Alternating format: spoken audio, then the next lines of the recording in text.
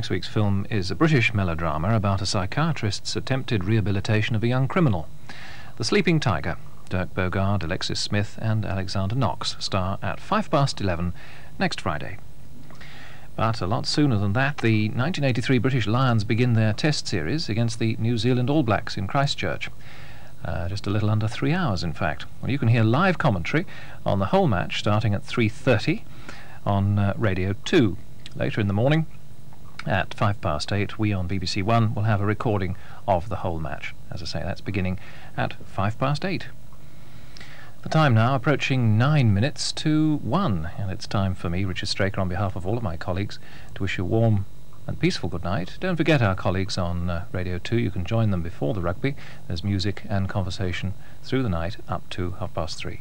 But for me, as I say, it's a very warm good night.